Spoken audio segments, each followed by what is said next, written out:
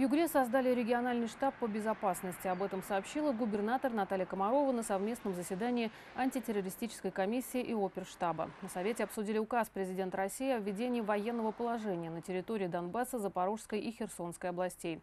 В связи с этим в нашем округе будет действовать уровень базовой готовности. Кроме того, глава региона поручила руководителям подведомственных организаций усилить безопасность на объектах энергетики, транспорта, коммуникации и связи. Победа будет за нами, нормально все будет. Ждите, главное, верьте. Находимся в спортивном комплексе «Дружба» в Ханты-Мансийске, где проходит отправка добровольцев. И вот сейчас мы поговорим с специалистом Центра поддержки семьи военнослужащих. Она выдает наборы для новобранцев от э, неравнодушных жителей города и администрации Ханты-Мансийского района. Татьяна, здравствуйте. Что получают наши новобранцы в дорогу? Покажете? Да, конечно же, покажем. Это, соответственно, приятности, сладости, чай, что может пригодиться нашим военнослужащим, э, печенье, чай, э, макаронные изделия быстрого приготовления э, и, конечно, консервные изделия. Да, от администрации района, города Ханты-Мансийска и жителей непосредственно, кто неравнодушен к нашим военнослужащим. А чем еще Центр поддержки семьи военнослужащих занимается? Мы непосредственно в дальнейшем ведем именно семью военнослужащего и, соответственно, оказываем помощь по любому вопросу и, конечно же, не бросаем в такой тяжелый ответственный час. Атмосфера в зале царит приподнятая, особенно среди тех, кто отправляется на обучение. Боевой дух у наших югорчан на высоте. Ну, кто если не мы?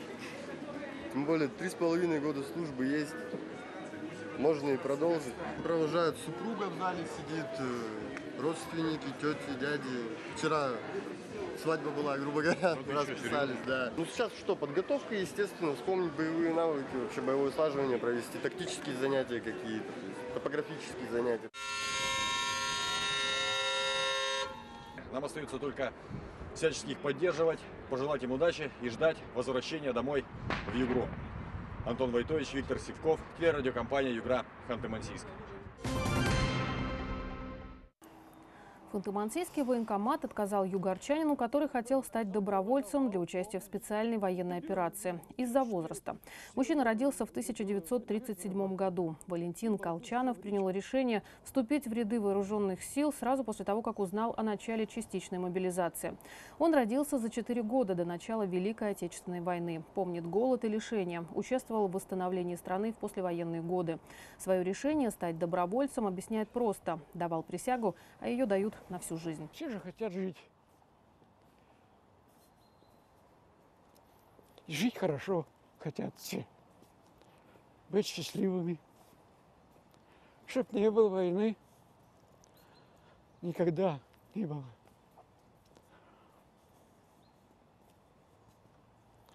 Вот за это надо и бороться. Защищать родину свою.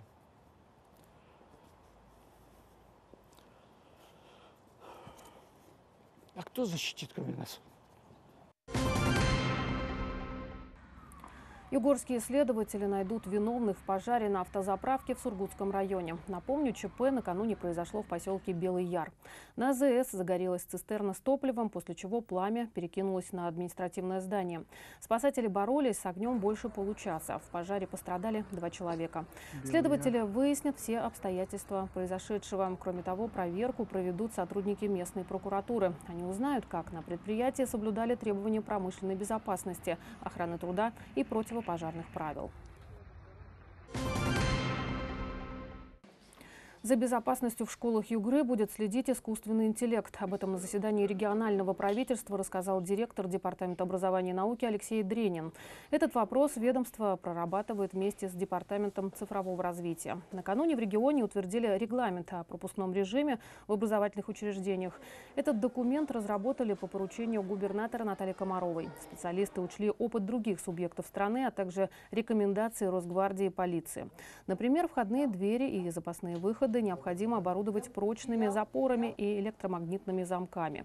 При этом в случае эвакуации они должны легко открываться изнутри. Родители смогут прийти в школу только по предварительной записи. Классные руководители должны будут передать охраннику список посетителей с подписью и печатью руководителя.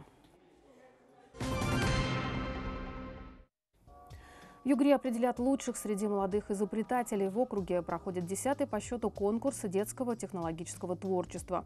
В нем участвуют школьники от 9 до 18 лет. Они представили свои инновационные разработки, которые могут быть полезными для человека. Например, это электрифицированное пособие для изучения условных графических обозначений и устройства для сбора мусора. Победители конкурса войдут в список претендентов на получение грантов президента России, а также смогут полноценно реализовать свои проекты. Ребята, которые принимают участие в нашем конкурсе, становятся призерами, получают э, дополнительно доступ к образовательным программам Центра «Сириус», получают дополнительные баллы к ЕГЭ и получают преференции при дальнейших участиях э, в олимпиадах всероссийского уровня. Это служит дополнительной мотивацией для школьников, у которых есть инновационные идеи. Многие из них участвуют в конкурсе не первый раз. Сейчас в муниципалитетах завершается его первый этап. Финал пройдет 18 ноября в Ханты-Мансийске на площадке технопарка Югры. Нас это очень хороший опыт. Это технический конкурс, в котором можно как-то проявить свои способности. Еще в прошлом году хотели в нем участвовать, но наш проект находился только на стадии ранней-ранней разработки, и там просто не было возможности участвовать. Вот. В этом году он уже на стадии прототипа. Тема для уборки мусора на пляжах, либо же на песчаных местностях. Его суть в том, что он будет кататься просто на пляжах, просеивать огромную территорию, тем самым собирая весь мусор в себя, а потом выбрасывая его в пакеты. Югорчане за пять месяцев прочитали больше 76 миллионов страниц. Итоги больших книжных гонок подвели на этой неделе. Награждение победителей регионального проекта прошло в окружной столице. Напомню, масштабные книжные соревнования стартовали в мае. Югорчане все это время вносили на сайт проекта информацию о прочитанной литературе. Победители среди муниципальных районов и городских округов определяли по количеству зафиксированных страниц. Так, самым читающим стал Сургутский район. Его жители осилили больше больше 10 миллионов страниц. Второе место и результат в 9 миллионов 700 страниц у Советского района. Среди городов победу одержал Нижневартовск. Жители столицы Самотлора прочитали 9 миллионов 300 тысяч страниц. В Сургуте осталось 865 дольщиков, чьи права были нарушены. 256 ключей от заветных квартир накануне получили покупатели квадратных метров ЖК «Любимый».